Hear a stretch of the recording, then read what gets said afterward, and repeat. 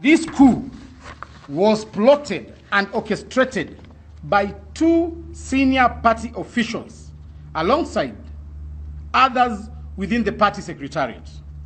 These senior officials are Mrs. Cecil Mbarire and Mr. Kimani Ichungwa, MP for Kikuyu constituency. That my ouster by the above officials had nothing to do with incompetence or my inability to run the UDA party, but was a well choreographed script intended to climax with the impeachment of the Deputy President, Rigathi Gachagua.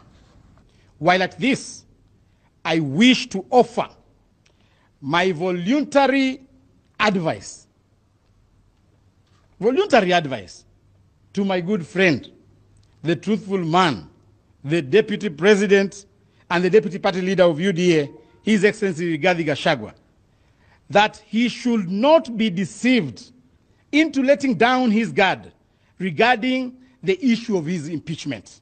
I am putting it to him that the coup plotters are not yet done. Free advice. If he wants to go and sleep, let him go and sleep. But the coup plotters are just on sleep mode. They are yet to be activated. As I conclude, I may